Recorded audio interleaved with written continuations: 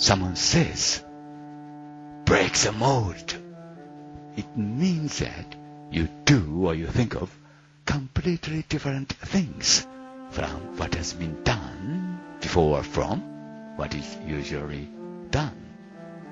Then, break the mold. Or, you may be left in the labyrinth of mysteries forever as ever. 常識の壁を破るということは今までの考え方とは全く違った考え方でものを考えたりしたりすることを意味しますさああなたも常識の壁を破ってみませんか？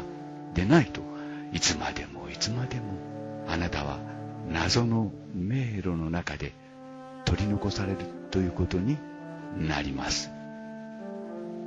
Hiroshiyashi, MMS City, Japan, April the 13th, 2024.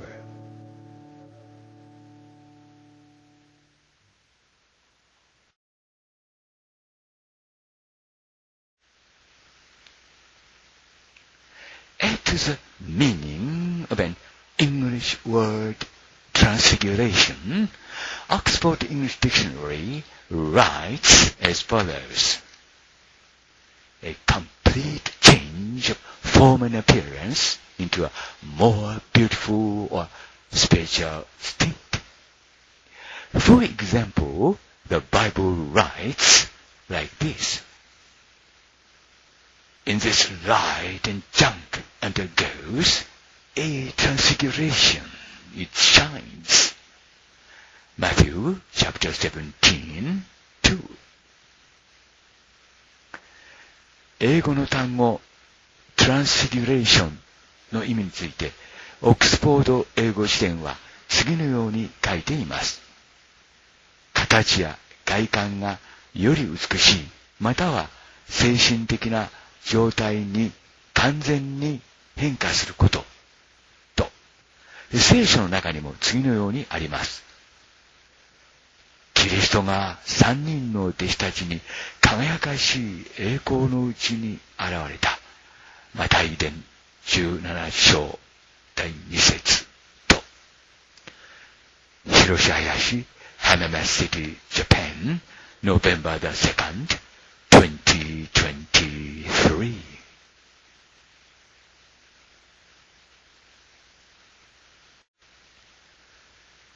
Raffaello Santillo, who I believe is also a puppet of King Christ, who descended during the Renaissance, drew a masterpiece entitled The Transfiguration of Christ. This painting said to have been painted by Raffaello Sancho just before his death.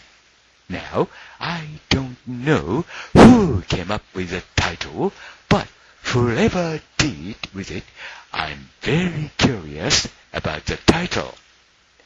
If this painting, as the title suggests, is a painting of the transfiguration of Christ, then it would mean that Christ came into the human world after changing his form and appearance.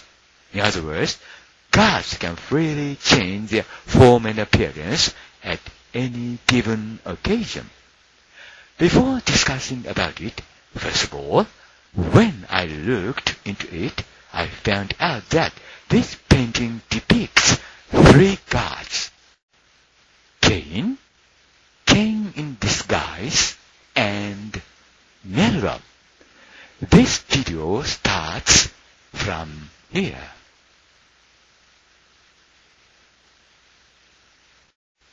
で、私、林博がルネサンス期に降臨したカイン・キリストの操り人形の一人だったと判断しているラファエロ・サンチオはキリストの変容キリストの変容と題した対策を書き残しています。ラファエロ山頂が死の直前に書いた絵画と言われています。今となってはその題名を誰が付けたかはわかりませんが、誰が付けた題名であるにせよ、その題名が大変気になります。もしこの絵が題名通りにキリストの変容を表現したものであるとするなら、キリストは姿と形を変えて人間の世界に入ってきたということになります。つまり、神々はその時々において自分の姿、形を自由に変えられるということになります。で、調べてみると、この絵の中には三人の神、カインと姿を変えたカイン、それにネルガルの三人の神が書かれていることが分かりました。今日の動画はここから始まります。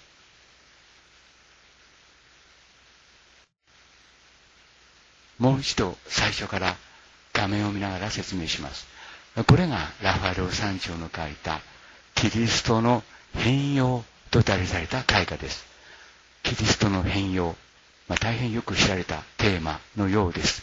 で、いろんな画家がですね、そのキリストの変容についての絵画を残しています。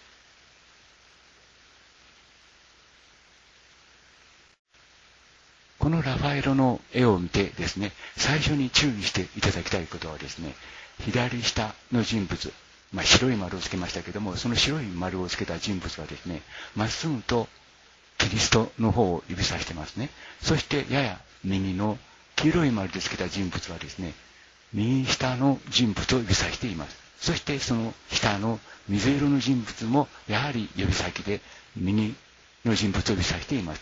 つまり、この二人の人物はですね、この絵の中の主題といいますか、重要人物であることを、まあ、このような形で、この絵は示しているということになります。で、もう一度見ていただきたいんですけども、これはキリストということになるわけですね。キリスト、クライスト、つまり救世主、キリストです。となると気になるのはですね、この右の人物ですけども、この右側の人物は誰かということになるわけですね。つまり二人の人物が指をさしているということです。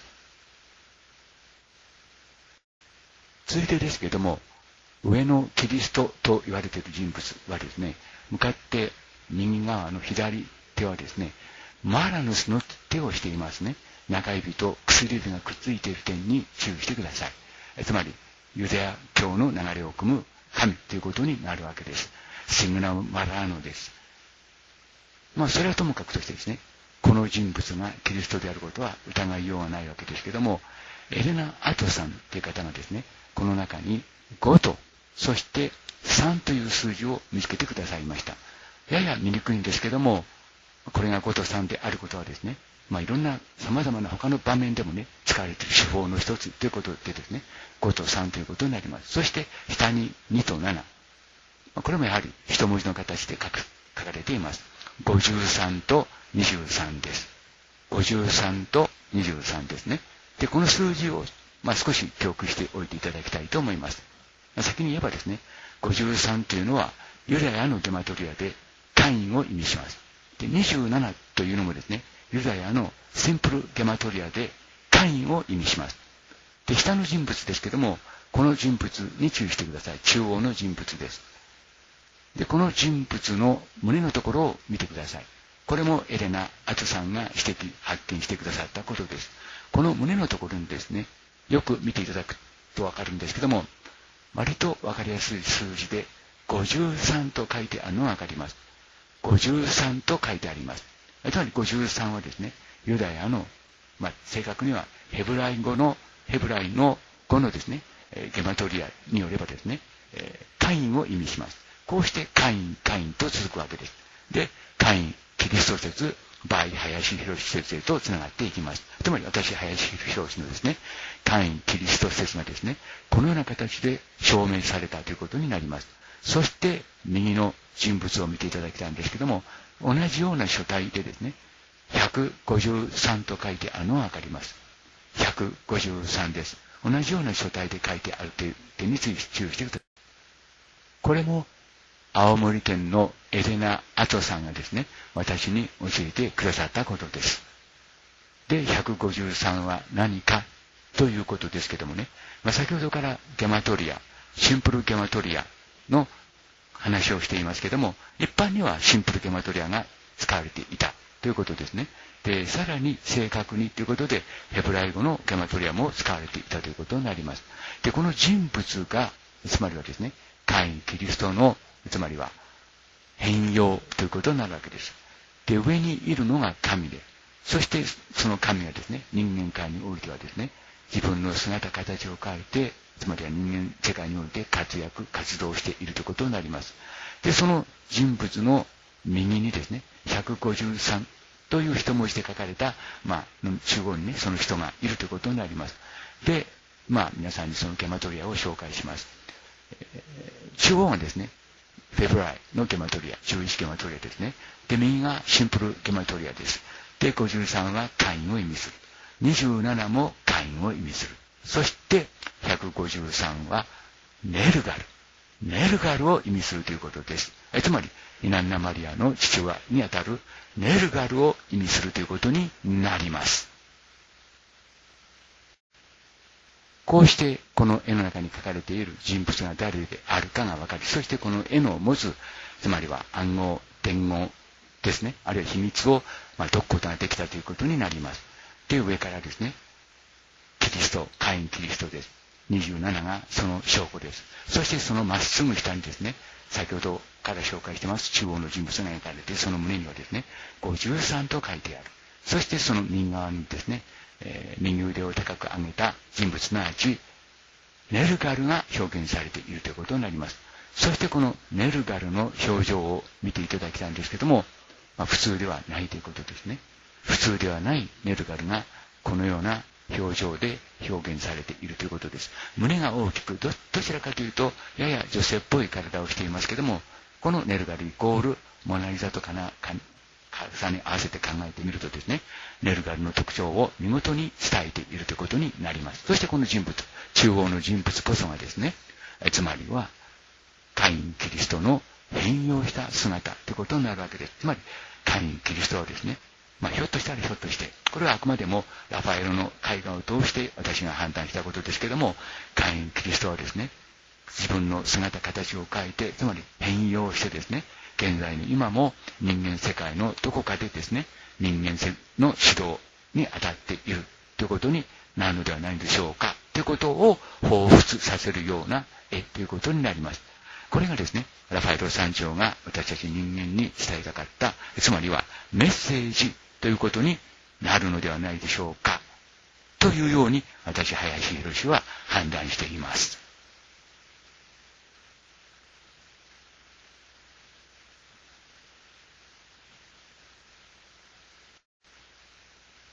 もちろん、この一例だけですとね、まあ、そのようにも見えるだけだ。こじつけだ。考えすぎだ。偶然の一致だ。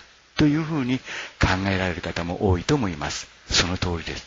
しかしですね、会員キリストの、つまりはパペット、操り人形として活躍したと思われる画家たちはですね、皆一様にですね、つまりこのような形で、それぞれの絵の中にですね、数字を使った暗号を、つまり隠し込んだということになります。その暗号にこそですね、その絵画の持つ本当の意味が隠されているということになります。今ご覧いただいているのはですね、何十例もある例のうちですね、ここ2、3日のうちに皆さんにお届けした動画の中からですね、4作選んで、そして皆さんにご覧いただいていますけれども、これらの絵の中にはですね、どれも数字が隠し込んでありました。で、それをですね、まず皆さんに見ていただいてですね、決してラファエロ山頂の絵だけにですね、そのような数字が隠し込んであったのではないということをですね、知っていただきたいと思います。と同時にですね、これらの数字には極めて重要な意味が隠されていたということになります。なおかつですね、これらの数字はですね、それぞれの絵の書かれている、まあ、要するに、その、なんて言いますか、書き方と言いますかね、表現方法と言いますかね、そのフォントですよね、においてですね、共通性、共通点が見られるという点です。もっとも、明らかにね、あからさまに、数字を書くとですね、まあ、それ、それはあまりにも秘密というレベルを超えてしまうわけですね。しかし、それでも、人間は気がつかないのかもしれませんね。例えば、あの有名なモナリザの左の横にはですね、51、51という数字が堂々と書き込んでありました。がしかしこの500年間、その数字に気がついた人は誰もいませんでした。ということなんですね。明らかに書いてあっても気がつかない。しかし、絵であるならばですね、さらに気がつかないということではないでしょうか。でないというならばですね、こうした事実を私、林博士が指摘する前にですね、指摘した人はいるのでしょうか実は誰もいないわけですね。2012年以前には誰もいない、いなかったということになります。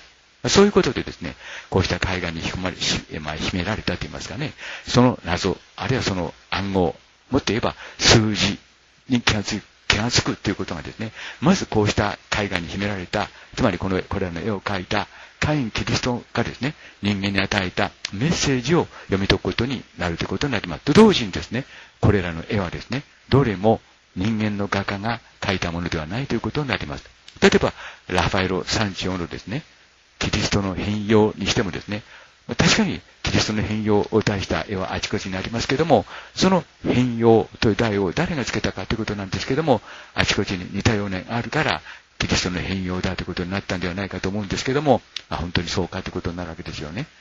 裏を返して言うとですね、えつまり、カイン・キリストはですね、一般に広がっているキリストの変容に見せかけてですね、実はこの絵の中に重大かつ、なってますか、深刻なとも言いませんけども、秘密を隠し込んだということになるわけです。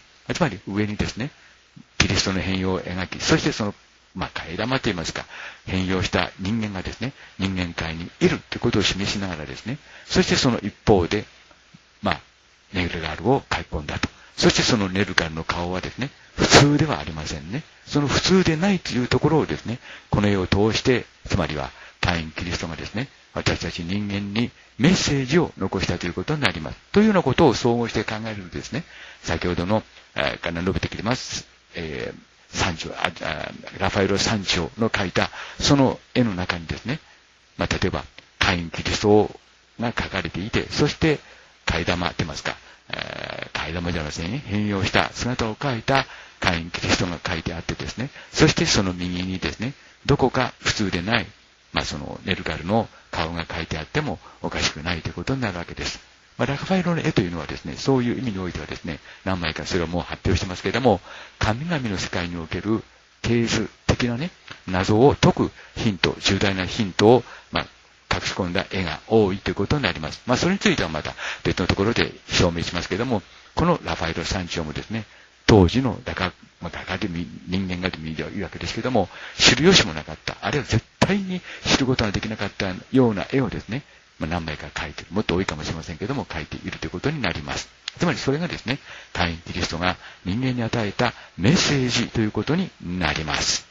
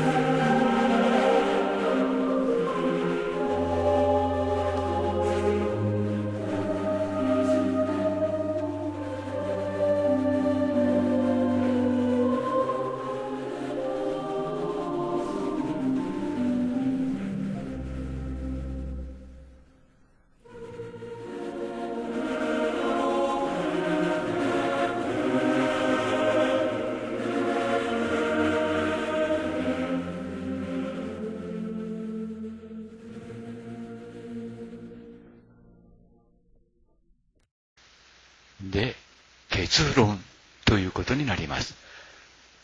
今日の動画、およびこれらの動画を通してですね、重要な結論ということになりますが、つまり、こうしてですね、絵の中に仕込まれた秘密、暗号、伝言、メッセージというのはですね、当時の人たちはですね、まあこれらの画家も含めてってことになるわけですけども、絶対に知る由もなかった事実ばかりだということです。裏を返して言うとですね、これらのメッセージを書いたのは、つまりは人間ではなかった。もっと言えば、これらの画家ではなかったということになるわけです。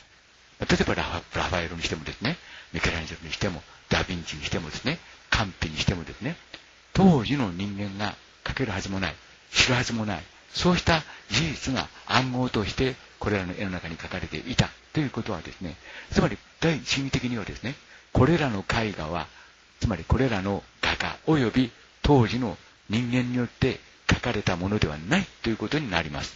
で、第二義的にはですね、じゃあ誰が書いたのかということになるとですね、つまりは時空を超えた画家ということになるわけです。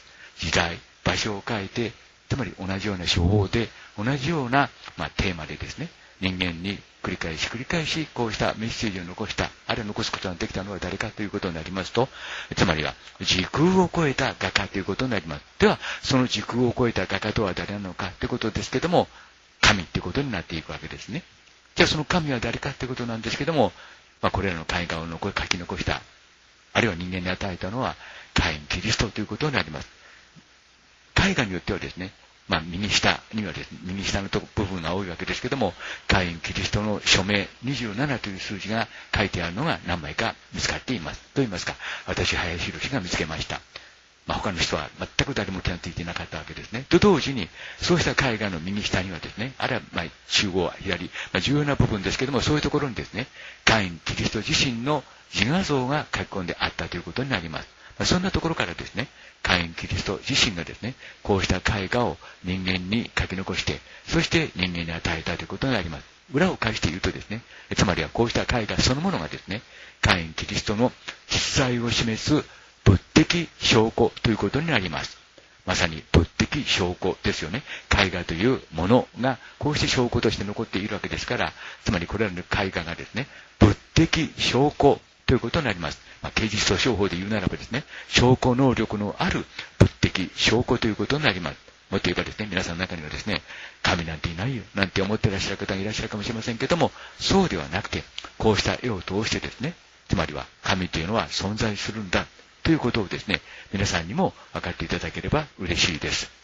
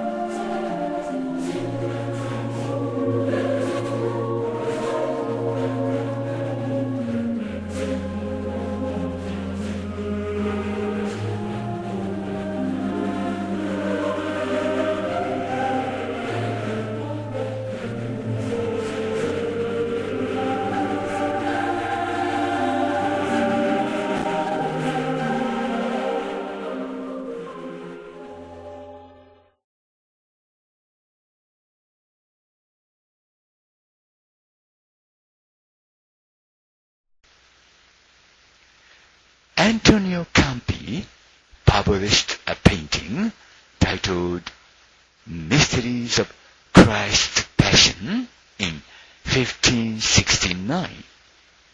This painting depicts a nuclear bomb exploding on the far left. At first glance, it may look like the sun, but it is not a solar ray. The sun's rays illuminate the ground from the front upper left to the rear lower right. You can tell this by looking at the shadows that people and a horse make. In other words, this painting is an expression of the end of humanity or so-called apocalypse. However, this does not mean that there is no hope for the future of humanity. In the upper right corner of this painting, Jupiter is depicted exactly as in a photograph, along with a god-like man and a crowd of people ascending into the sky with that man. In other words, this painting represents the life of Jesus as a whole, while the left side represents the end of humanity, and the right side represents humanity's salvation. アントニオ・カンピは1569年にキリストの劇場の謎と題された絵画を発表しています。この絵は左端に核爆弾が爆発する様子が描かれています。一見すると太陽のように見えるかもしれませんが、太陽光線ではありません。太陽光線は手前左上から後方右下に地上を照らしています。人物や馬が作る影を見ればそれがわかります。つまりこの絵は人間の終末の様子を表現したものだということになります。が、人間の未来に希望がないわけではありません。この絵の右上には木星が写真のように正確に描かれていて、神らしき人物とその人物とともに群衆が天に昇っていくその様子が描かれています。つまりこの絵は全体としてイエスの生涯を表現しながら左側で人類の終末そして右側で人類の救済を表現したものということになります。広林浜松市ジャパン November the 1st 2023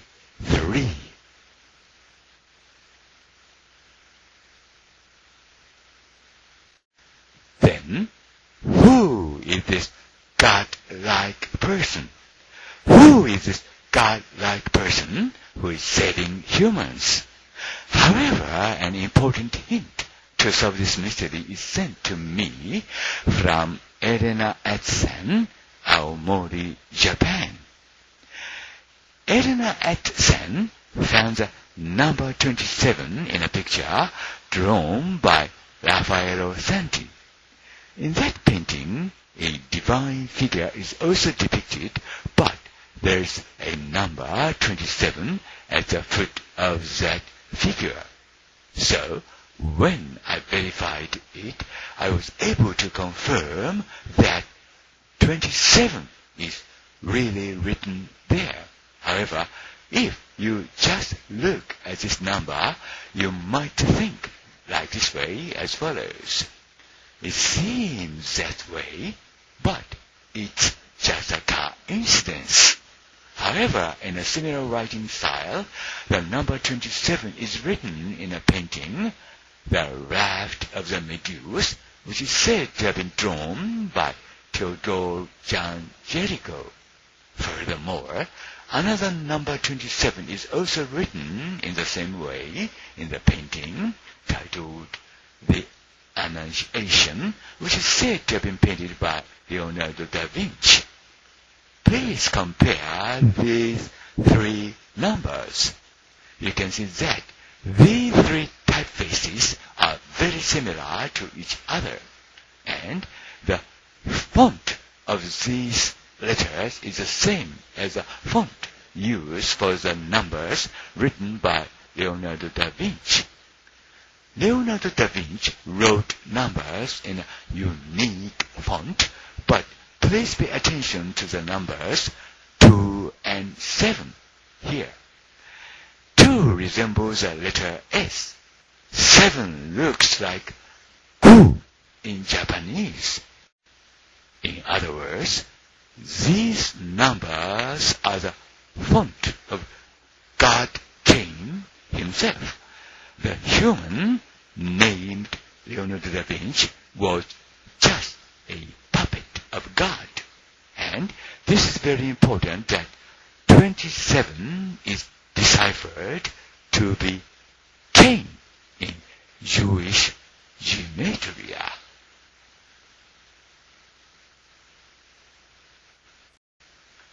では、その神らしき人物とは誰なのでしょうか人間を救済している神らしき人物とは誰なのでしょうか？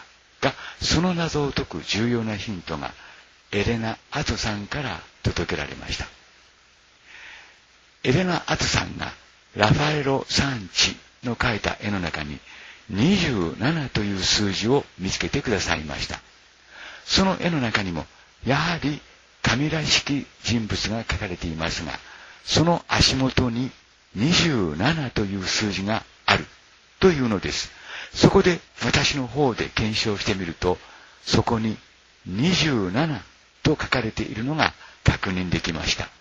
が、この数字だけですと、皆さんはこう思うかもしれません。そのようにも見えるが、それはただの偶然の一致だとです。が、同じような書き方で、テオドール・ジャンジェリコが書いたと言われている、メデュース号のイカダと題された絵の中にも27という数字があるのが分かりました。さらに、レオナルド・ダ・ヴィンチとアンドレ・テレベッキオの合作と言われている受胎告知という絵の中にも27という数字があるのが分かりました。これら3つの数字を見比べてみてください。これら3つの書体は互いに大変よく似ているのがわかります。そしてその書体は、レオナルド・ダ・ヴィンチが書き残した数字の手書きの書体と同じです。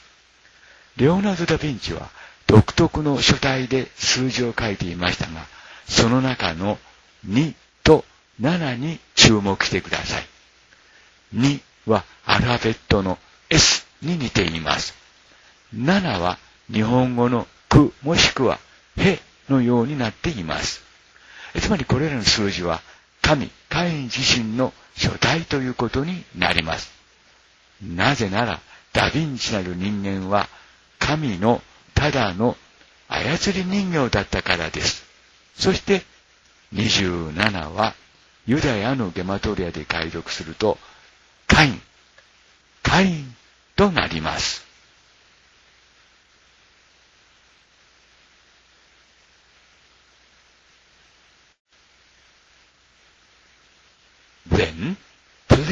Compare the God-like figure drawn by Antonio Campi on the left with the God-like figure drawn by Raffaello Santi.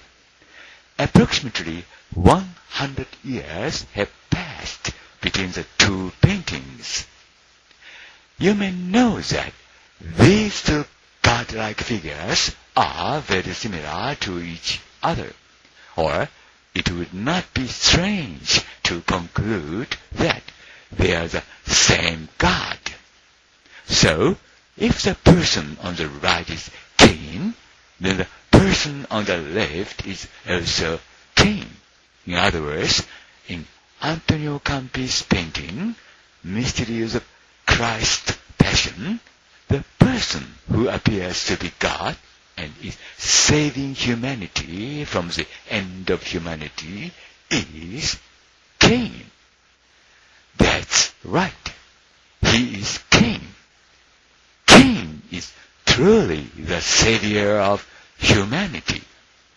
Antonio Campi's painting, titled The Mysteries of Christ's Passion, is a painting that shows that Cain is a savior of humanity, even though it is based on the life of Jesus. Naturally, I, Hiroshi Hayashi, claim here that not only Campi's paintings, but also Raphael's paintings are the works of the God King himself.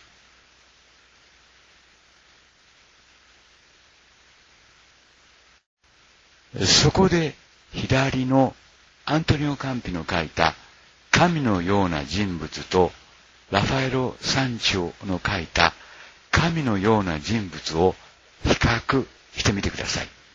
2枚の絵の間にはおよそ100年という年月が流れています。これら二人の神らしき人物は互いに大変よく似ています。同一人物と判断してもおかしくありません。で、右の人物がカインであるとすると、左の人物もカインということになります。つまり、アントニオ・カンピのキリストの劇場の秘密、謎の絵の中で、人類の終末から人間を救済している神のように見える人物は、カイン、カインということになります。そうです。彼はカインです。カインこそが、まさしく人間の救世主、メシアということになります。アントニオ・カンピのキリストの劇場の謎と題された絵画は、イエスの生涯を題材にしながらも、人間の救済主はカインであることを示した絵画ということになります。そして当然のことながら、神秘の絵はもちろんのこと、ラファエロの絵も神、カイン自身の作品ということになります。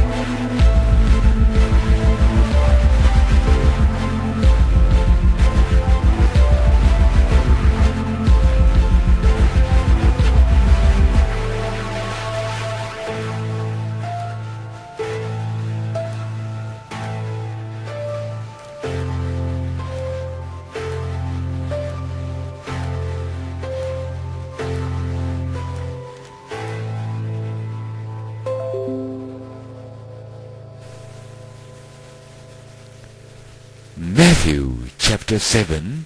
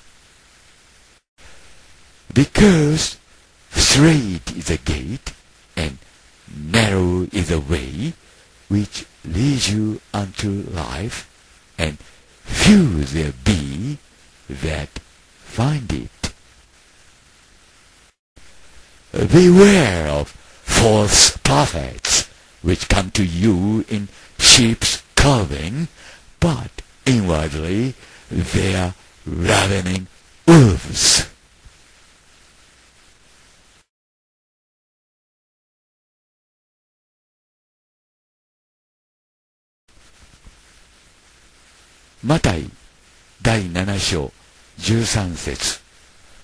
大きい門と小さい門。狭い門から入りなさい。滅びに至る門は大きくその道は広いからです。そしてそこから入っていくものが多いのです。命に至る門は小さく、その道は狭く、それを見出す者は稀です。偽預言者たちに気をつけなさい。彼らは羊のなりをしてやってくるが、うちは貪欲な狼です。広し林浜松 City, Japan.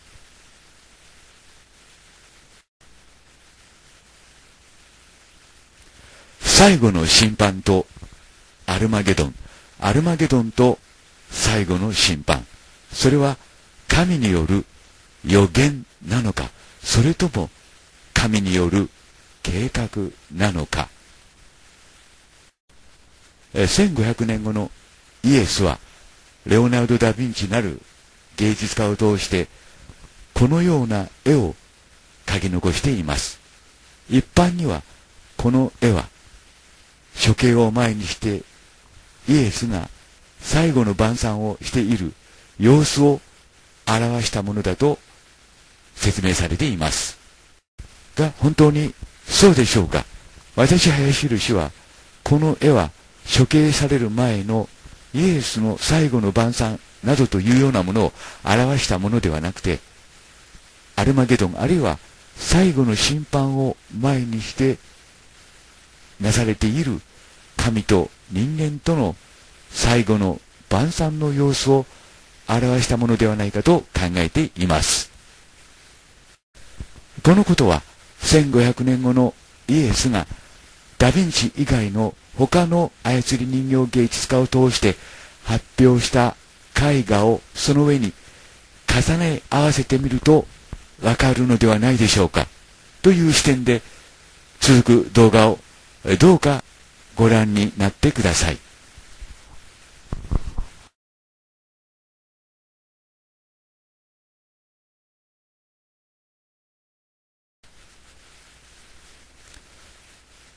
Wikipedia English writes it out nuclear holocaust as follows.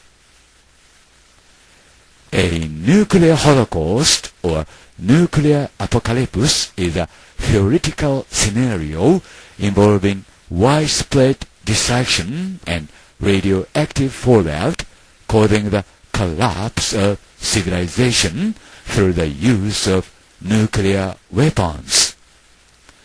Under such a scenario, some of the earth is made uninhabitable by nuclear warfare in future world wars. I, Hiroshi understand that most possibly Jesus Christ, after 1500 years in the Renaissance, had issued a serious warning to us humankind about its nuclear holocaust and nuclear apocalypse through the painting of the mystery of the passion of Christ by Antonio Campi. You be the judge whether you take it or leave it, but it might be rather stupid for us humans if we leave it and ignore it. 1500年後のイエスはアントニオ・カンピの書いたキリストの劇場の謎の絵を通して私たち人間に重大な警告を発していたとは断言できないにしてもそうした警告を発していた可能性があります。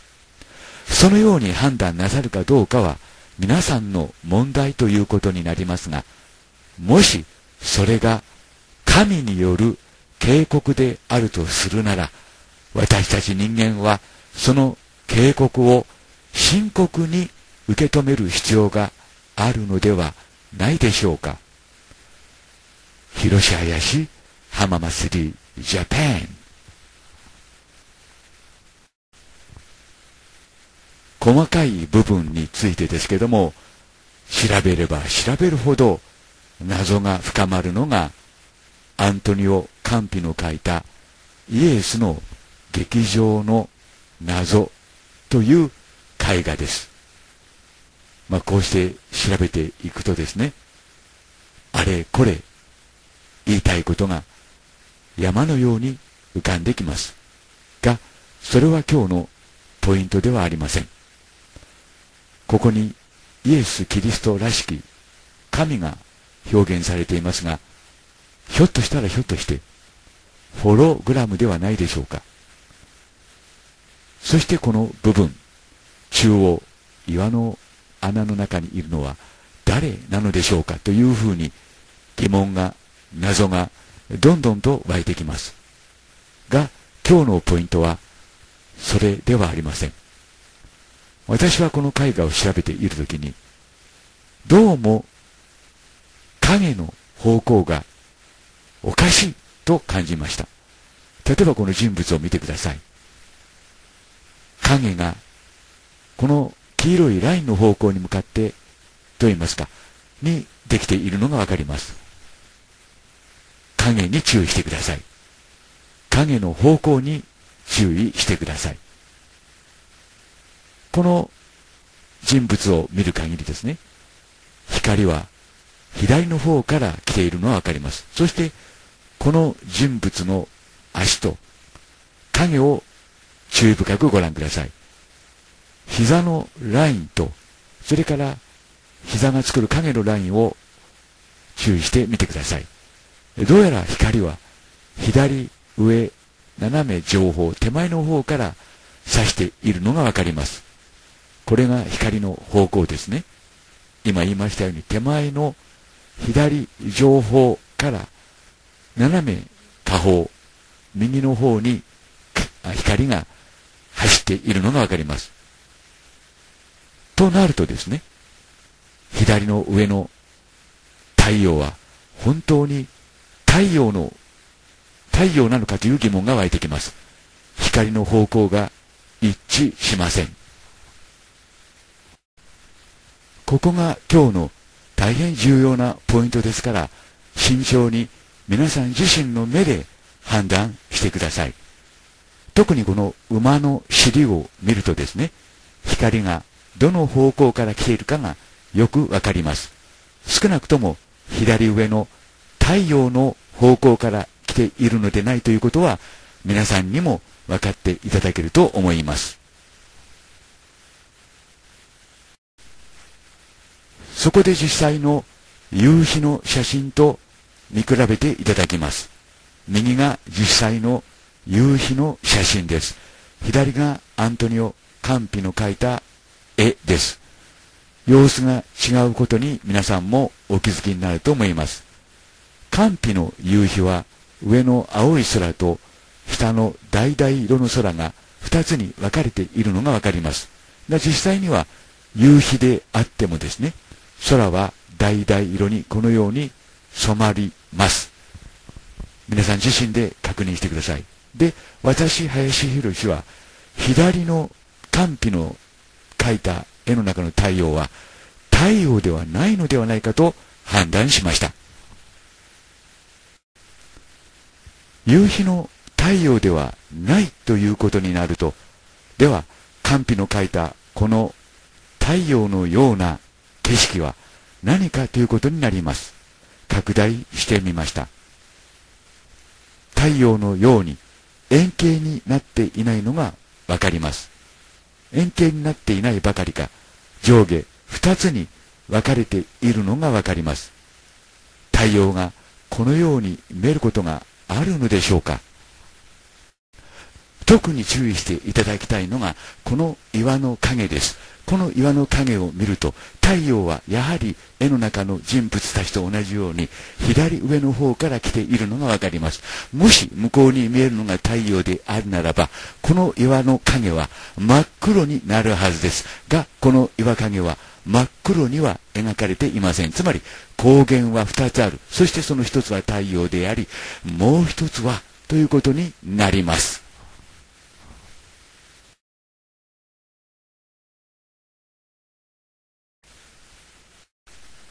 で、私、林博は、寒皮の書いたこの部分は、核兵器が爆発した時の様子を描いたものではないかと判断しました。その理由はこのすぐ後に説明しますが、こうして比較してみるとですね、寒皮の書いたこの太陽のように見える部分は、太陽ではなくて、むしろ核兵器の爆発の様子に酷似しているということがわかります。皆さん自身の目で判断してみてください。太陽であれば、多少の雲があっても深淵形になるはずです。つまり、これを太陽と見るか、核兵器の爆発の様子と見るかは、つまりは皆さんの判断ということになります。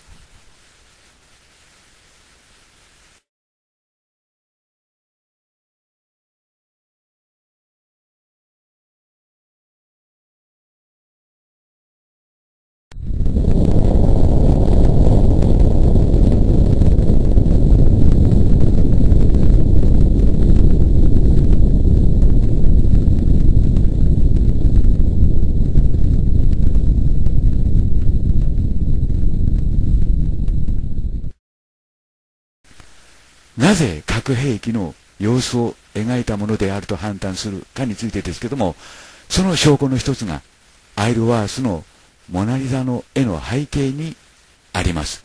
アイルワースのモナリザの絵の背景に描かれているのは、まさしく火星の風景だからです。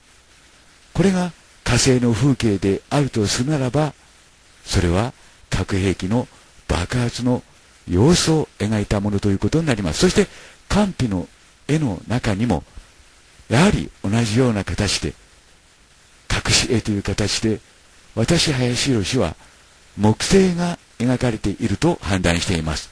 つまりこれが木星であるとするならば、つまり、寒皮はこのような形で、その絵の中に、実は核兵器による爆発の様子を描いたものであると判断できるわけです。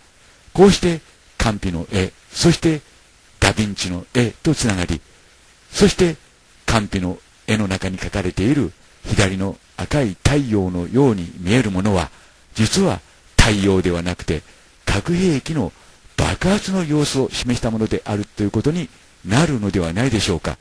が、そう考えることは人類にとっては誠にもって恐ろしい話ということになります。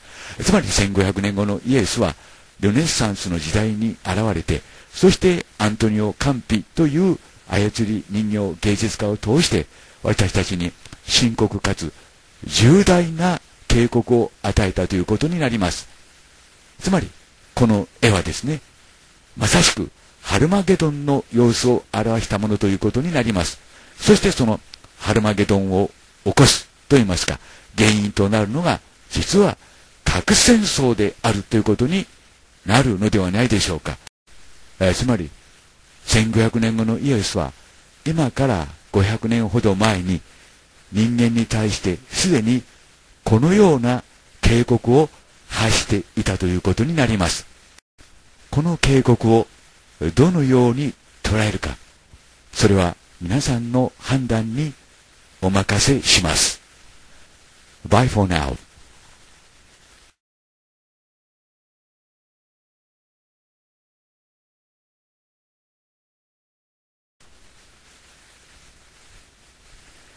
Antonio Campi was an Italian painter of the Renaissance, and his one of the greatest masterpiece is one named The Mystery of the Passion of Christ, which is full of mysteries.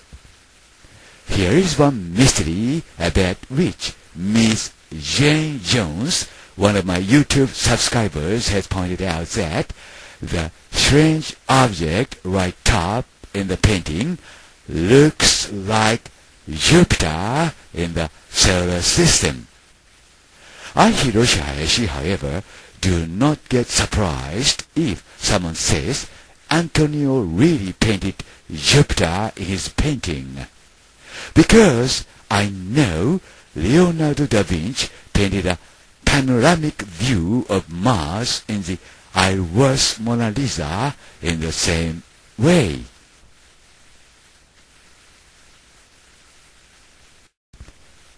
視聴者の一人のジェーン・ジョーンズさんがカンの描いたイエスの劇場の謎の絵の中の不思議な物体は太陽系の木星に似ているのではないかと書き込みをくださいました。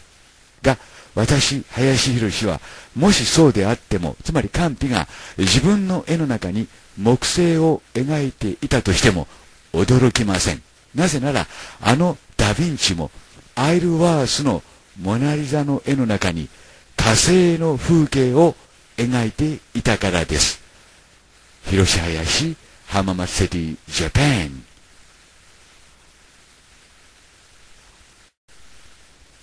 左が NASA の探査機が火星で実際に撮ってきた写真です。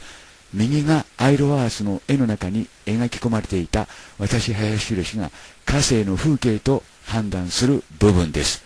これらの写真及び絵には一切着色など加工は加えていません。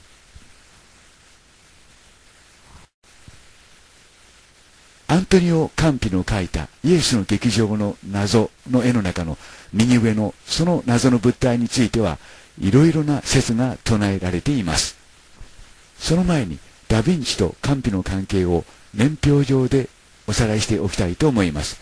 私、林博が1500年後のイエスの操り人形と判断しているレオナルド・ダ・ヴィンチです。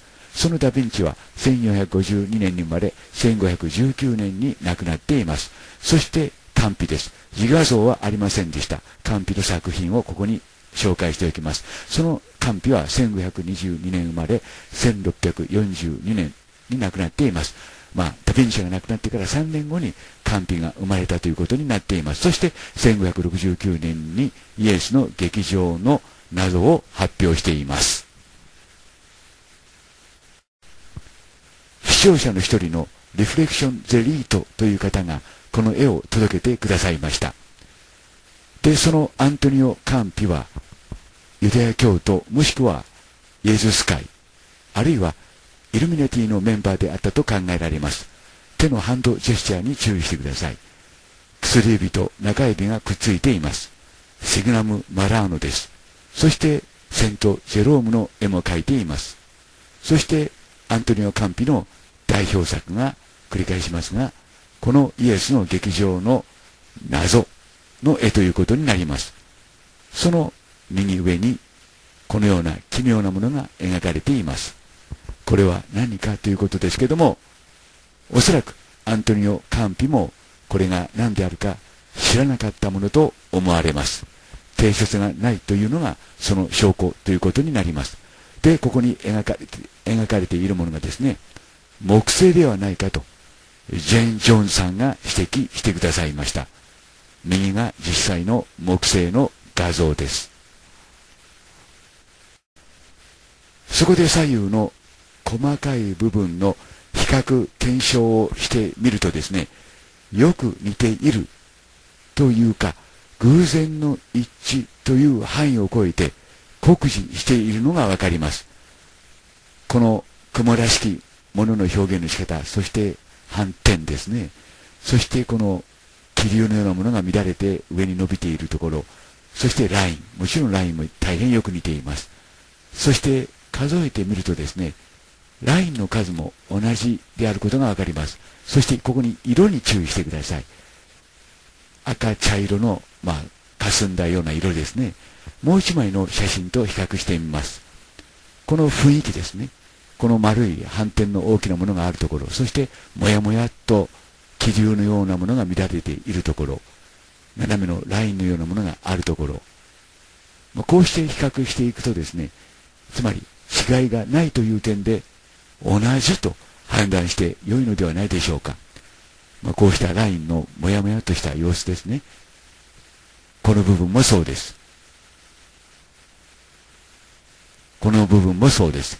気流がって言いますかね、乱れて上に上がってると。そして下のフォームですね。ラインが何本か重なっている点で一致しています。さらに興味深いことに、左の寒皮のこの奇妙な物体、もう木星と言っていいのかなという判断ですけども、それをまあ白黒反転させてみるとですね、その様子がさらに右のですね、実際の木星の写真のそれと一致するということですね。特にこの渦巻きの表現の仕方、それから気流が乱れているような感じのところですね。そういったところに注意していただきたいと思います。ということは、寒皮のこの絵は、実際の木星の写真をですね、反転させたものであるという可能性も出てきたということになります。となると、アントニオ・カンピの書いたこの謎の物体は木星ということになるのではないでしょうか。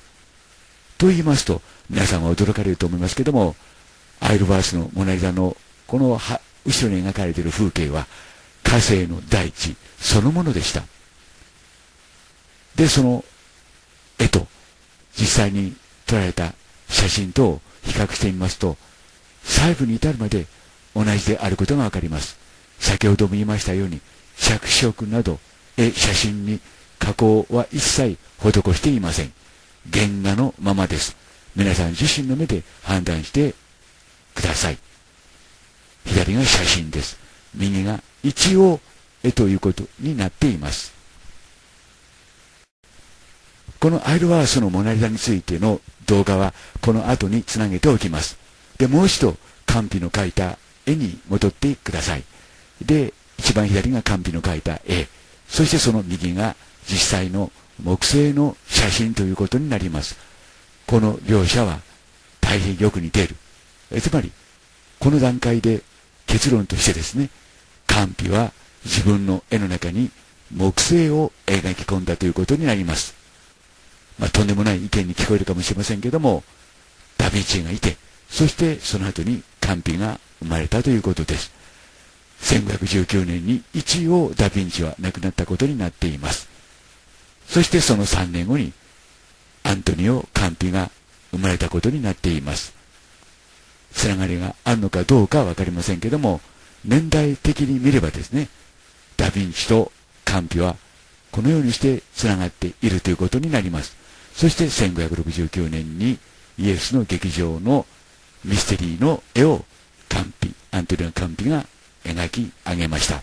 その絵の中に右上のような奇妙な物体が描かれていました。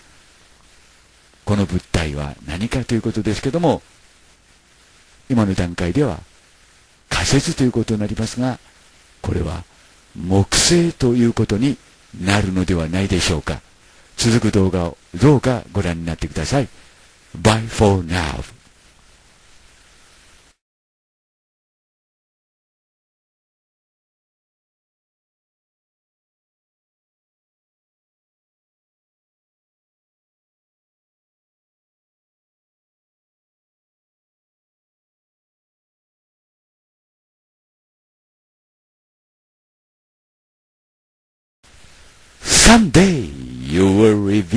this fact. Someday you will know this fact. Then you humans will know what I was. And then you humans will know where you are from and what you are. You humans are my sons and daughters of God. いつの日か君たち人間はこの事実を暴くだろう。そして君たち人間はこの事実を知るだろう。その時君たち人間は私が何であったかを知るだろう。そしてその時君たち人間は君たちが何であるか。そして君たち人間がどこから来たかを知るだろう。君たち人間よ。君たちは神の息子であり、そして娘なんだよ。と。広島林浜祭りジャパン。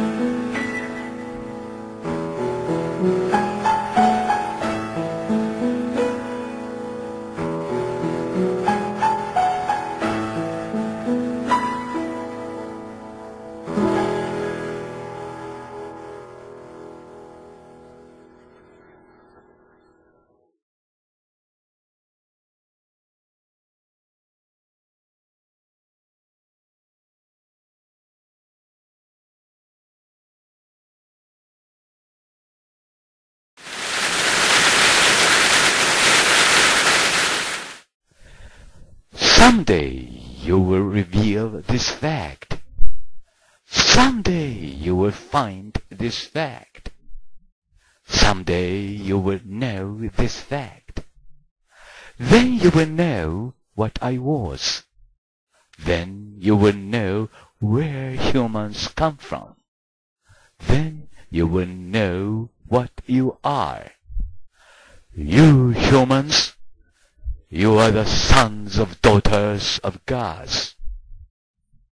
This is the message from Jesus Christ after 1500 years.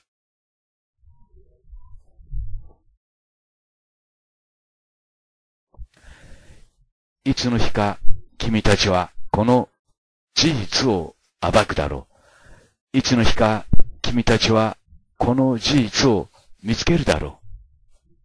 いつの日か君たちはこの事実を知るだろう。その時君たち人間は私が何であったかを知るだろう。その時君たち人間は自分がどこから来たかを知るだろう。その時君たち人間は自分が何であるかを知るだろう。君たち人間よ。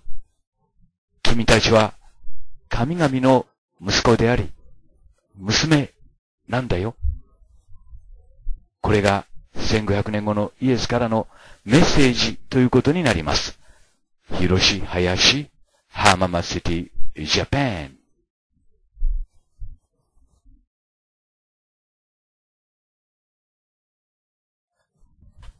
左上の写真が NASA が火星で撮ってきた写真です。右下はアイルワースのモナリザの絵の中に描かれていた奇妙な物体です。この両者は全く同じものです。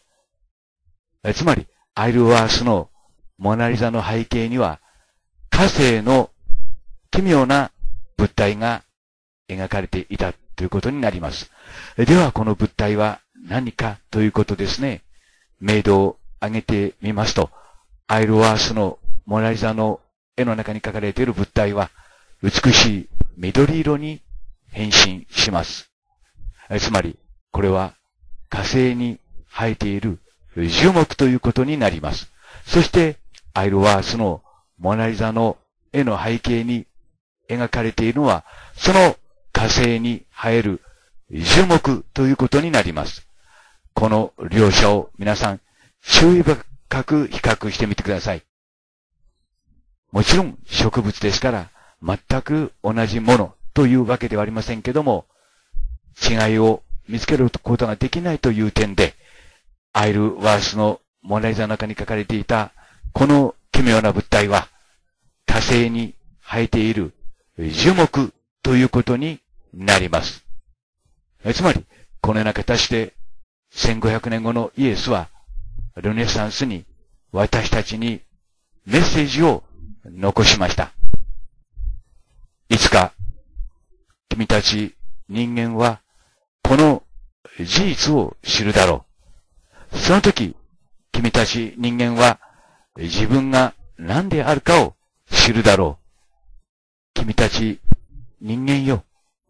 君たちは神々の息子であり、娘なんだよ、と。まあ、このように比較してみるとですね、このアイルバースのモナイザの中に仕込まれた1500年後のイエスのメッセージを読み取ることができます。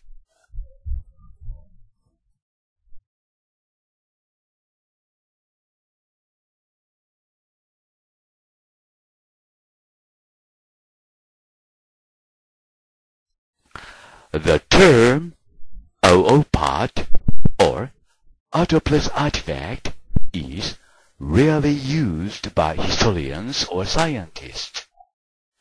You know the reason why. Why isn't the term used by historians and scientists?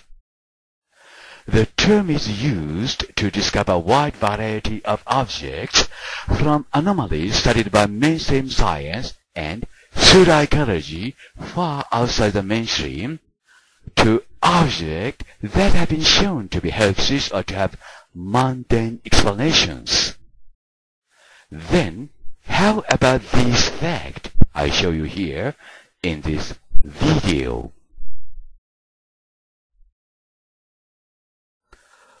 オーパーツという言葉は歴史家や科学者の間では使われていません。なぜ歴史家や科学者は使わないか。その理由は皆さんご存知の通りです。オーパーツという言葉は科学の世界では邪道と言われるものを表現するために用いられているからです。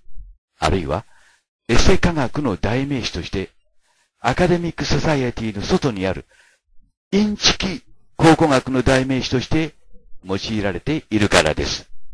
では、この動画の中でお見せする事実はどうなのでしょうか？広し林浜祭りジャパンまず皆さんにご覧いただくのが一枚の銅鏡です。この銅鏡は大阪の長持山古墳から明治時代に出土したものです。そして同じく明治時代にアメリカに流出しました。現在、この銅鏡は、マサチューセッツ州のバスタミュージアム・ファイン・アーツに所蔵されています。この銅鏡には、北極海の地図が正確に浮き彫りで彫刻されています。海岸線のみならず、シベリア大陸の方には、川、あるいは湿地帯まで正確に彫刻されています。一つ注意していただきたいのは、この銅鏡の中で特に色の濃い部分は、海氷もしくは氷、雪と考えられます。それを除きますと、このように北極北極海の地図と完璧に一致します。のみならず、この銅鏡の上の地図はですね、真上から見たときに、まあ地球の写真と一致するということです。えつまり、特殊な方法で上から焼き込んであるということになります。時代は卑弥呼の時代です。まさにあってはならない大パーツということになります。もうこの事実を発見して、私、林博が発見して、すでに3年以上になろうとしています。次にご覧いただきますのは、法隆寺の隣にあります、中宮寺にある弥勒菩薩繁華シー像です。中宮寺です。この中宮寺には、弥勒菩薩繁華シー像が安置されています。左がガンダーラ仏です。この両者はプロポーションが全く同じです。そして二つを重ね合わせてみますと、細部に至るまで同じです。ただし、鼻の長さと太さだけが違います。団子の形も少し違います。しかし、首の下にはシワがあります。そのシワまで一致しています。そこに注意してください。この事実も私が発見して、すでに3年半、あるいは4年近くになります。特に上まぶたのラインに注意してください。この事実をどう考えたらよいかということですね。左はストイッコです。右はクスの木をの寄せ木に彫刻されたものです。この丸いところのシワに注意してください。こんなところまで一致しています。この事実を皆さんはどのようにお考えになりますか？ただ単なる偶然、あるいは大パーツとして片付けてしまいますか？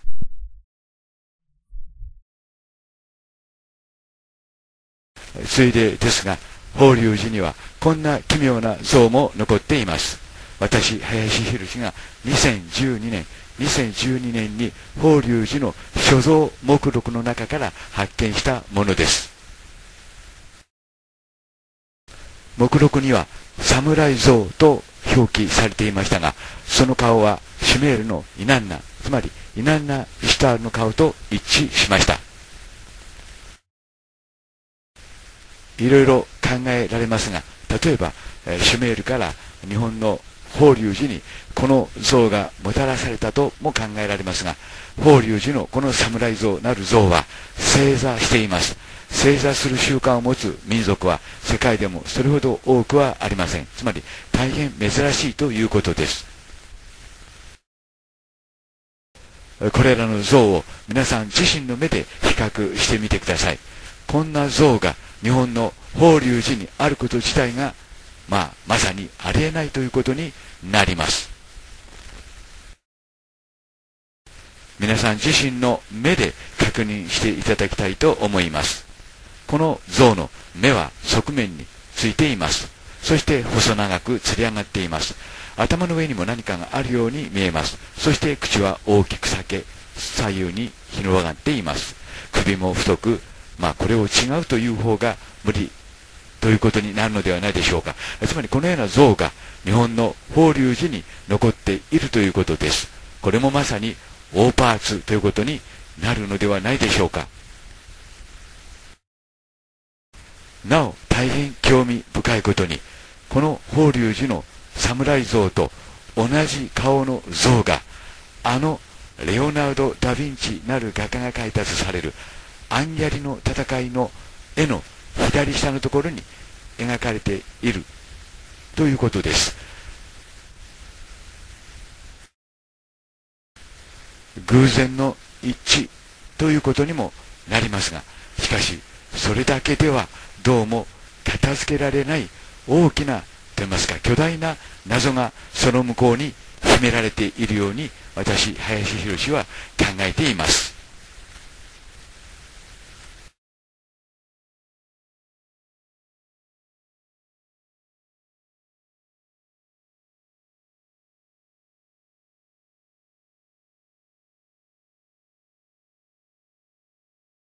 皆さんに見ていただきたいのは、レオナルド・ダ・ヴィンチという画家が描いたことになっているアイルワースのモナリザです。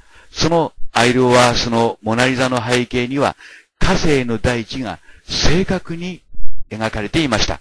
これは NASA が公表した火星表面に撮られた奇妙な物体の写真です。一般には針葉樹に似た木だと言われています。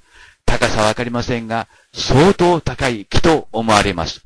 その木がアイルワースのモナリザの絵の向かって左側に描かれていました。この部分です。この部分に注意してください。一見すると何かわけのわからない、つまり得体の知れない物体に見えますが、これはこの白い線のところで上下が線体状になっています。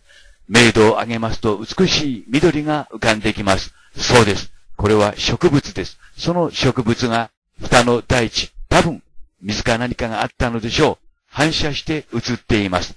これは NASA が公表し、現在アリゾナ大学が保管している写真です。マーズ、キュリオシティローバーが撮ってきた写真と思われます。その中にこのような、まあ、樹木と判断して良いものが映り込んでいました。この樹木と判断して良いものにご注意ください。それと同じものがアイルワースのモナリザの絵の中に描かれていました。それを今日皆さんに丁寧に見ていただきたいと思い、思います。比較してみてください。左は絵のように見えますが、これは写真です。右は絵ということになっています。これは写真です。そこを誤解しないでくださいね。この写真の出典はここに示しておきますから、皆さん自身で確認できると思います。注意深くご覧ください。NASA。NASA と書いてあります。出所は NASA です。そして現在、アリゾナ大学に所蔵されています。もう一度、このラインを見てください。つまり上半分が下に反射して映っているということになります。ですから上半分の輪郭はしっかりとしていて、下半分の輪郭はぼんやりとしています。これが事実です。そして NASA が撮ってきた写真と比較してみます。皆さん自身の目で確認してください。えつまりこのような形で、えー、1500年後のイエスはですね、ルネッサンスという時代に、レオナルド・ダ・ヴィンチという操り画家を通して、私たちにメッセージを残したということになります。いつか君たち人間は、この事実を知る時が来るだろう。その時、人間は君たち人間は私の正体を知ることになるだろうと、林博士はそのように解釈しています。もう一度、皆さんが撮ってきた写真と、そしてアイルワースのモナリザの中に描き込まれている木の絵と比べてみてください。注意深く見てください。まさにオーパーツということになります。まさにオーパースということになります。左は写真のままで手を加えてありません。ただ、明度は少し上げてありますが、それ以外は手を加えていません。そして、右の方もやや明度を上げていますけども、それ以上の手は加えてありません。皆さん自身の目で確認して比較して判断してください。ここが重要です。ここが重要です。これを皆さんはエセ科学、インチキ科学として片付けてしまいますか？また片付けてしまって良いのでしょうか？左は NASA が撮ってきた写真です。右はアイルワースのモナリザの背景に描かれた奇妙な物体です。寸部たがわず同じです。この事実を皆さんはどのように判断なさいますか？左の絵が描かれたのは今から500年前のルネサンスの時代ということになります。繰り返します。このような形で1500年後のイエスはルネサンスの時代に私たち未来の人間にメッセージを残したということになります。いつか君たち人間はこの事実に気がつく時が来るだろう。その時、君たち人間は私の正体を知ることになるだろうと。そういうことです。まさに、大パーツ中の大パーツということになるのではないでしょうか。もう一度、NASA の写真を確認してください。University of Arizona と書いてありますね。そして、ホームページもしっかりと紹介してあります。私を疑う人は、このホームページにアクセスして、直接この写真を見られたら良いかと思います。これは火星で撮られた写真です。まあ、これが植物であるというためには、まだいくつかのハードルを超えなければなりませんけども、これは誰が見ても植物ということになります。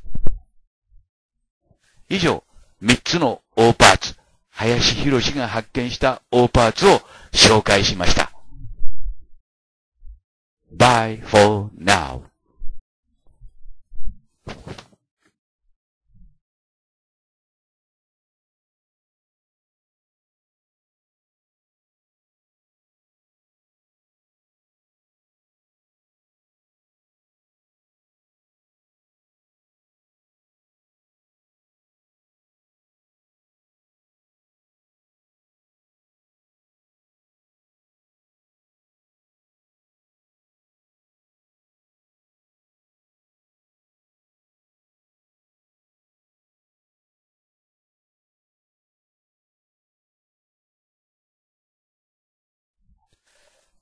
Checkmate is a game position in chess in which a player's king is threatened with capture and there is no way to remove the threat. Checkmating the opponent wins a game. So do I. Hiroshi Hayashi, Hamama City, Japan. Checkmate! Aliens! チェックメイトというのは、チェスで王の 逃げ場を封じ込め、王が捕らえられることを言います。つまり、相手をチェックメイトした方が勝負に勝ったことになります。で、林博士もその勝負に勝ちました。エイリアン、オーケー広し林、浜松シティ、ジャパン。火星で植物らしきものが次々と発見されています。今、ご覧いただいている画像も、その中の一つということになります。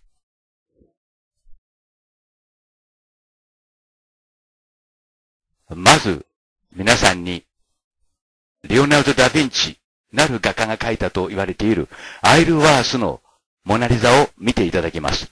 このアイルワースのモナリザの背景には火星が描かれています。火星の表面です。一見すると山のように見えますが、これは山ではありません。赤い部分を注意してご覧ください。ここに岩らしきものがありますが、影は左の方にできています。つまり、光は右上上方から来ていることになります。一方、この山の表面を見てください。光は左上上方から来ているように見えます。つまり、矛盾します。つまり、これは山ではありません。崖です。下の方へ伸びた崖です。ここが重要ですからしっかりと確認してください。この崖の部分を見ますと、ここに影ができています。そしてここに影のラインができています。つまり光は右上上方から来ていることになります。これで光の方向が一致しました。つまり、ここに描かれているのは山ではなくて、山ではなくて崖だということになります。ここが今日の第一のポイントです。そして、この崖と、それから火星表面で撮られました写真と比較してください。大変よく似ていることがわかります。火星にはこのような崖が至るところにります。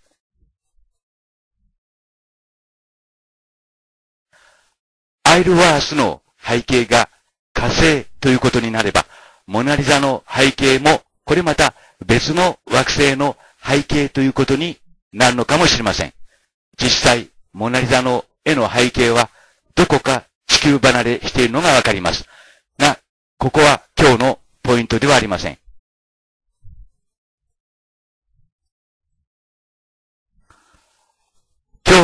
ポイントは、アイルワースのモナリザの背景には火星が描かれているという点です。これからそれをじっくりと説明しますので、皆さん自身で確認してください。この黄色い部分に注意してください。ここに何か岩のようなものが描かれているのがわかります。色を落としてみると、それがよくわかります。岩がいくつか重なっているのがわかります。そして、その周囲には小さな岩が転がっているのがわかります。これは絵なのでしょうか？それとも写真なのでしょうか？この辺りには谷のようなものものも描かれています。そして中央には大きな影ができています。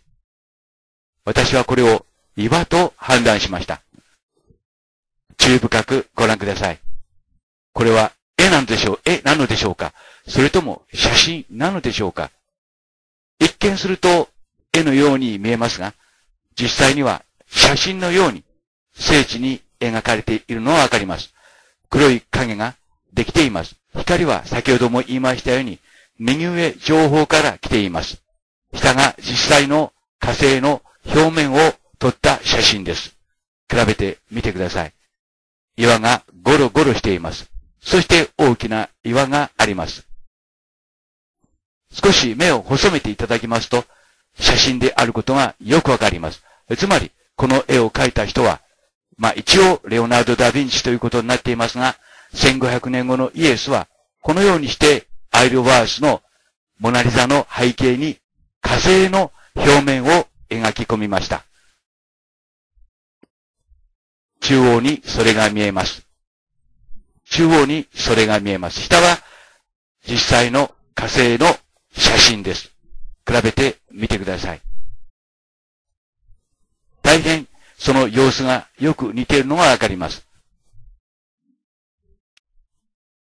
白黒白黒にしてみますと、その雰囲気がよくわかります。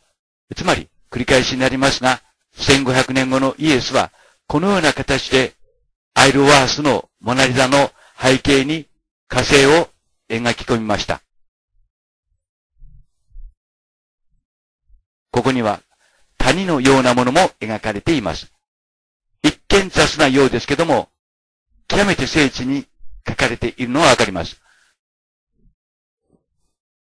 絵の具のひび割れ部分を少し薄くしてみました。皆さん自身で確認してください。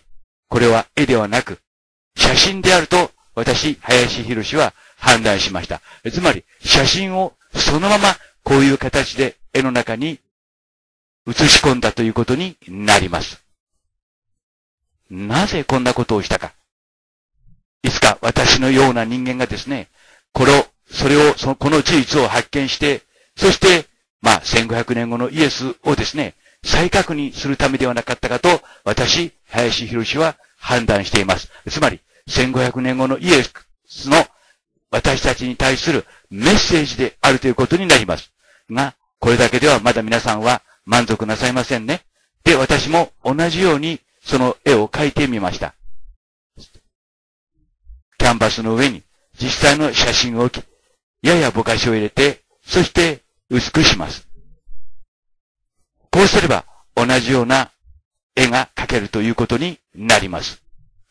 技術的には大変稚拙ですけども、手法は同じかと思います。上がアイルワースのモナリザの中に描かれた岩山です。下が実際の火星の表面の岩の様子です。注意深くご覧ください。そして色を落としてみますと、まあ同じようであるとしか言いようがありませんね。全く同じ場所を探すことは、これは不可能かと思われます。上が絵です。絵と言われています。下が写真です。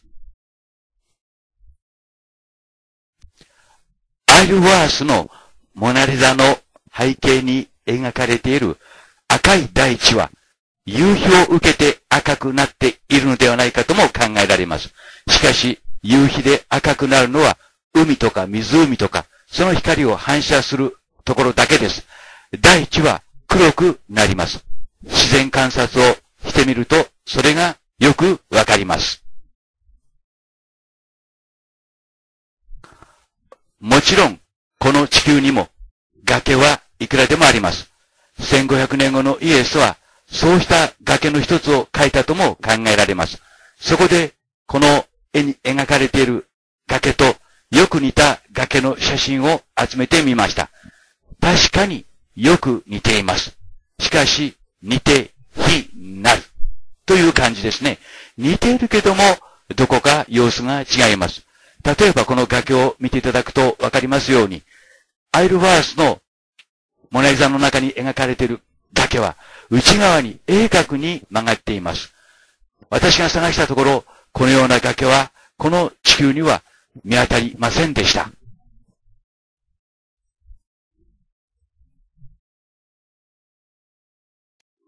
で、本題です。もう一度、アイルワースのモナリザの絵を見てください。そして、その背景に描かれている風景の影の方向に注意してください。光は右上上方から来ています。で、左のこの物体は何かということですけども、ここで私は前回、下半分は影だと言いましたけども、やはりこれは影ではありません。上下正確に、えー、線対称になっています。この白い部分で上と下が線対称になっているということですね。光は右上上方から来ていますから、もしこれが影であるならば、影は左下へと伸びているはずです。そして色温度を上げてみますと、美しい緑が見えてきます。これは何なのでしょうか？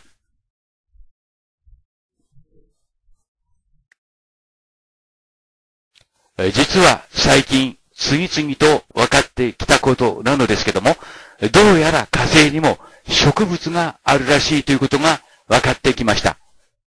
一説によれば、サボテンに似た植物もあるらしいということが分かってきました。そしてこの写真に注意してください。これは NASA が公開した写真です。アリゾナ大学が保管しています。この写真に注意してください。まあ、一説によると、針葉樹のような木のようなものが生えているということになります。かなり背の高い、まあ、木のようなものということになります。もちろん、まだ確認されているわけでありませんけども、植物と考えられます。まあ、一風変わった植物ということになります。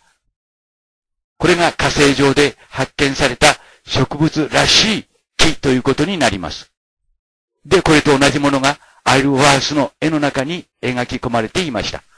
注意深くご覧ください。この中央の部分です。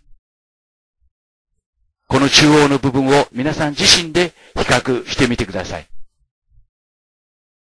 順に比較していきます。まあ、植物といってもですね、おそらくいろいろな種類の植物があるものと思われます。しかし、まあこの部分だけを見てもよく似ているというレベルを超えて同じと私、林博士は判断しました。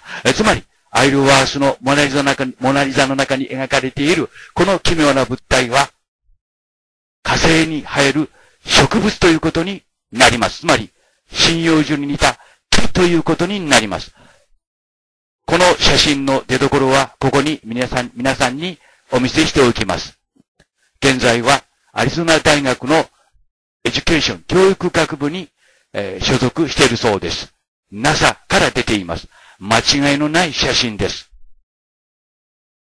つまり、アイルワースのモナリザの中には、すでに500年前にそれが描かれていたということになります。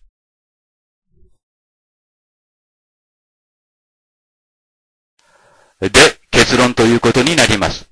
アイルワースのモナリザの中に描かれている奇妙な物体です。この物体は上下線対称になっています。そんなところから私はやはり、この下半分は上半分が水もに映った反射であると考えています。そうした絵や写真は公開されています。比較してみるとそれがよくわかります。ですから、下半分がぼんやりとしています。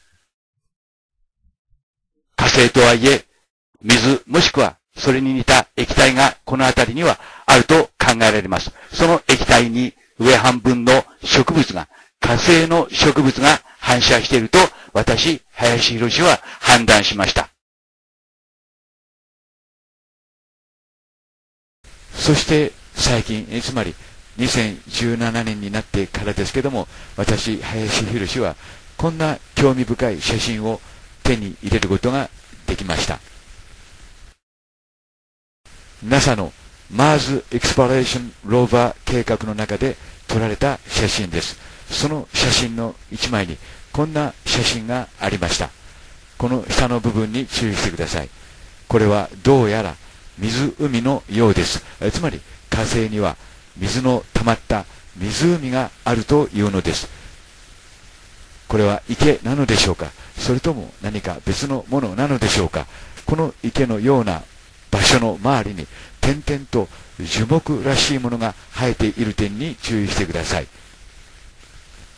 この水色の着色は私の方でしたのではなくて別のサイトがしたものです。で、この辺りにどうやら水の反射像が映っているようにも見えます。確定はできません。確認はできません。そしてその周りにはこのような樹木らしい、まあ、まさに樹木と言って良いような植物が生息しているのが分かりました。高さは相当高いものと言われています。一説によると200メートルから300メートルあるのではないかと言われています。こんな樹木が、まあ、生えているわけですね。それが先ほどお見せしました樹木ということになりますが、この樹木のそばに、え実は湖らしきものがあったということになります。その湖の周辺であるいは湖とも断言していいと思いますけども、その周辺でこのような樹木が見つかったということです。つまり、このような樹木が、その水面といいますか、湖の水面に反射して、ちょうど、まあ、中央ラインでですね、線対称の図形を作っていると、私、林博は考えています。この、まあ、中央部ですね、これはあの反射像なのか、それとも土砂のようなものが流れ込んだのかは、これだけでは判別できません。まあ、ともかくも、私はこのような水、湖がですね、火星にあるということを知りました。そして湖があるならば、右のようにですね、上半分の像が下半分にちょうど、まあ、反転した形で映、まあ、反射していても何らおかしくないということになります。そしてそれがアイルワースの、まあ、絵の中に描き込まれていたということになります。ですから上半分は輪郭がはっきりし、下半分はぼんやりとしています。そしてアイルワースのモナリザのこの奇妙な物体の下半分には大きく拡大してみると分かりますけども細かいさざ波のようなものさざ波のようなものが描かれていますつまりアイルワースのモナザの下半分の絵はこれは反射像ということになりますバイ林博説ですこの白い線が、まあ、この線対称のラインということになります。まあ、下半分がですね、輪郭がややぼやけている点に注意してください。えつまり、このアイルワースのモナリザの背景に描かれているこの奇妙な物体は、火星に入る植物であり、下半分はその反射像ということになります。というふうに、私、林博は判断しました。えつまり、このような形で、1500年後のイエスは、ルネッサンスという時代に現れて、私たち後世の人間にこのような、まあ、メッセージを残したということになります。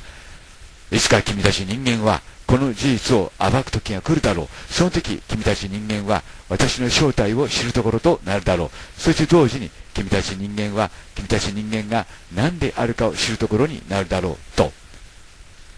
これが1500年後のイエスからのメッセージということになります。左がアイルワース、右がえー、火星の実際の風景写真です。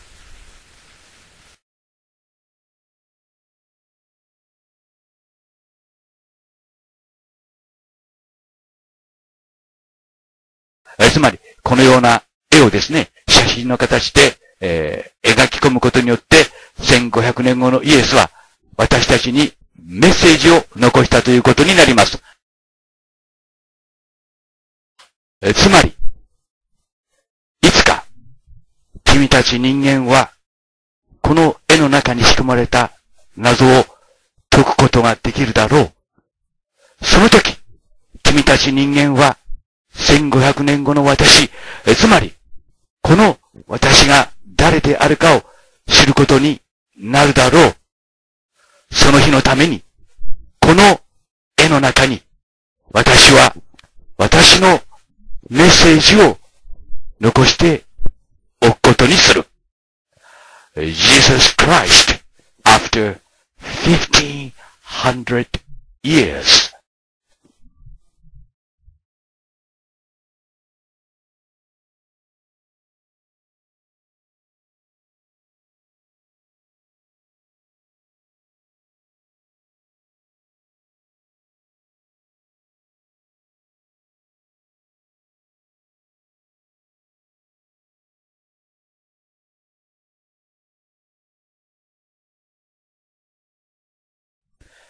According to Wikipedia, it writes about Isleworth Mona Lisa as follows.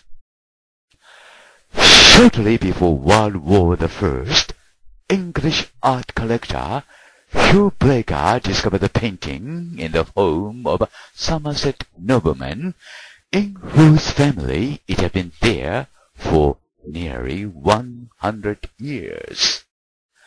This discovery led to the conjecture that Leonardo painted two portraits of Lisa del Gioconde, the famous one in the Louvre, and the one discovered by Blaker, who bought the painting and took it to his studio in Isleworth, London, from which it takes its name. 第一次大戦の少し前、ヒュー・ブレイカーというアートコレクターがサマーセットの貴族の家からその家に伝わる一枚の絵画を見つけた。この発見により、レオナルドが2枚のモナリザを描いていたという推測へと繋がった。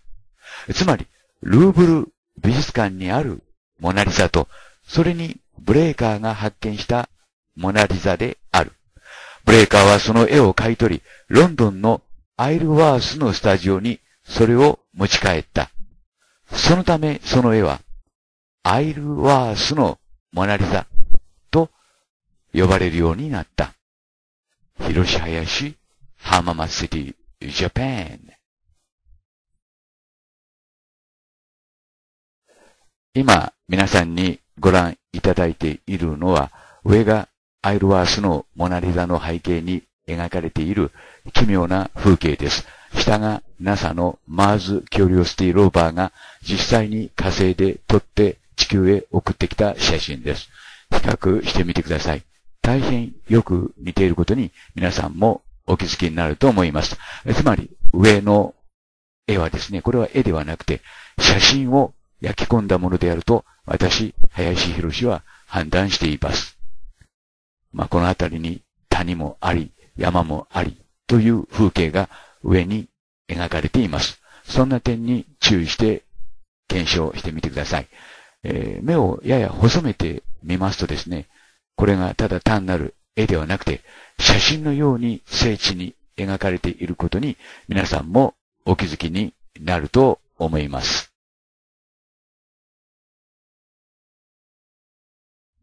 で、この絵はどのようにして描かれたのか、それを私なりに簡単に実験してみます。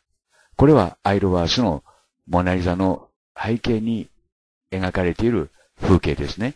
その上の部分を取り出して、そして火星の実際の写真を下に貼り付けてみます。下の半分下はですね、これは火星の実際の写真です。で、ややぼかしを入れます。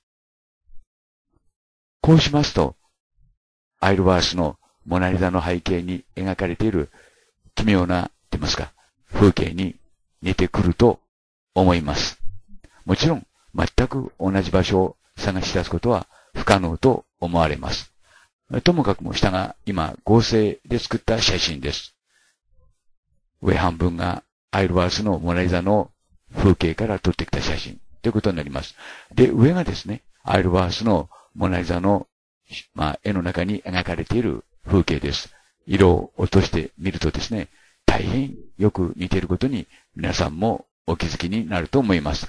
つまりこのような、このようにしてアイルワースのモナリザの背景は、まあ、作られたということになります。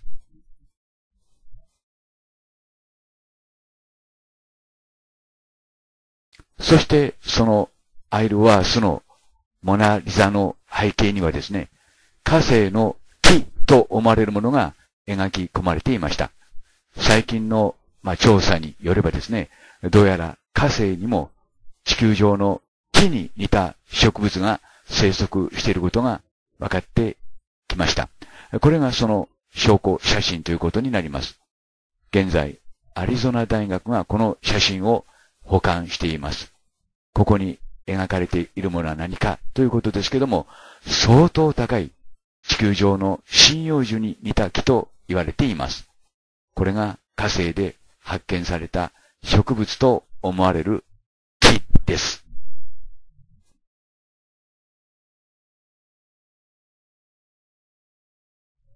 それと同じものがですね、このアイルワースのモナリザの向かって左側に描き込まれていました。大体こんなところにこんなものがあること自体がおかしなことということになります。この奇妙な物体がですね、アイルワースのモナリザの絵を台無しにしているとも考えられます。この部分ですね。この部分に奇妙なものが描かれているということですね。左右を比較してみてください。左は私が消したものです。つまり、このようなものが描かれていること自体がおかしいイコール、それほどまでに重要なものであったからこそ、レオナルド・ダ・ヴィンチは、この物体をアイルバースのモナリザの背景に描いたということになります。明度を上げてみますと、ボコボコとした感じとともに、美しい緑が現れてきます。そうです。これは樹木、木ということになります。で、この木はどこの木かということになります。それを皆さんにこれからご覧いただきます。注意深くご覧ください。アイルワースのモナリザに描かれていた木と思われる物体です。右は、えー、ローバーですね。マーズ・キュリオシティ・ローバーです。それがこのような写真を届けてきました。まあ、これはあの、上空を飛行中に撮られた写真ということになります。そしてその中にはこのようなものが映り込んでいました。先ほども言いましたように相当高い木のように思われます。右が実際に火星上空から撮られた火星表面上の樹木と思われる物体です。まあ木と断定してほぼ間違いないと思います。詳しくはこの続く動画の中で説明しますが、ともかくもこのような物体が映り込んでいたということですね。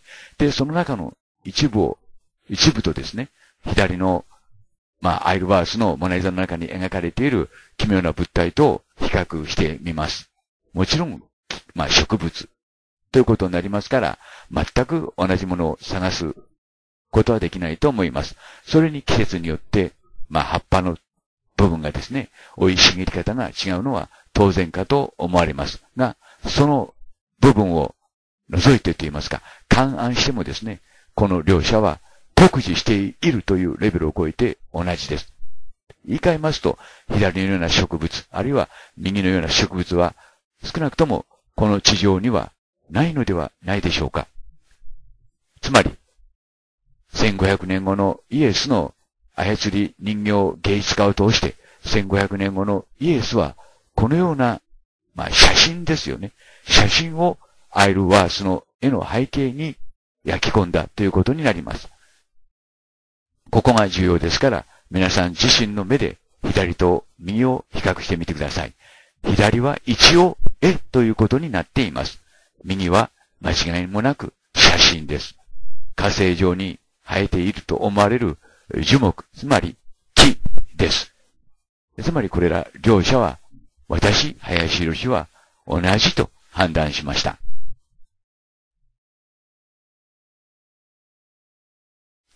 ついでながら、こんな奇妙なものも発見しましたので、一応報告しておきます。このアイルバースの背景はですね、一般には山と考えられています。これが、これは山ではありません。下へ掘り込んだ崖です。光の方向からそれがわかります。下半分が山に見えるから山という風に一般には理解されています。が、私、林博は、これは崖と判断しました。で、この部分に奇妙なものが、まあ、描かれているということですね。何やら崖の途中に、まあ、窓のようなものが描かれているということです。が、確認はできません。ともかくも、まあ、これ、これはですね、私は絵というよりも、写真から起こした絵というふうに理解しています。部分的に絵のように、まあ、改変されているように思いますが、しかし、写真のように精緻な部分もあります。まあ、こうした物体が描かれているということですね。で、これは何かということですけども、この下半分は崖ということになるんですよ。山ではありません。先ほども言いましたように、光は右上の方から斜め左下の方に当たっています。ですから、これは崖と判断しました。で、この部分を明るくしてみますとですね、やはり奇妙な左の方ですけども、ものが描かれているように思います。さらに、この部分ですね、上半分はどうやら絵のようにも見えますが、下半分はですね、極めて精緻に書いてあるのがわかります。明度を上げてみるとそれがよくわかります。赤い大地がここに、まあ、描かれているということですね。で、これは私は絵ではなくて、一部写真であると判断しました。そして、色も火星の色と一致します。これは、えー、マーズ・スピリチュアル・キュアリシティ・ローバーがですね、火星から送ってきたオリジナルの写真です。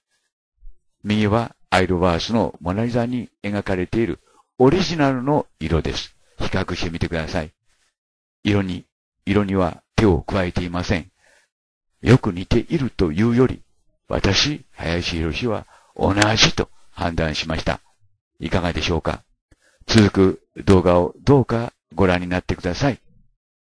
いつか君たち人間はこの事実に気がつくだろう。その時、君たち人間は私の正体を知るだろう。と同時に、君たち人間は君たちがどこから来たかを知るだろう。Bye for now.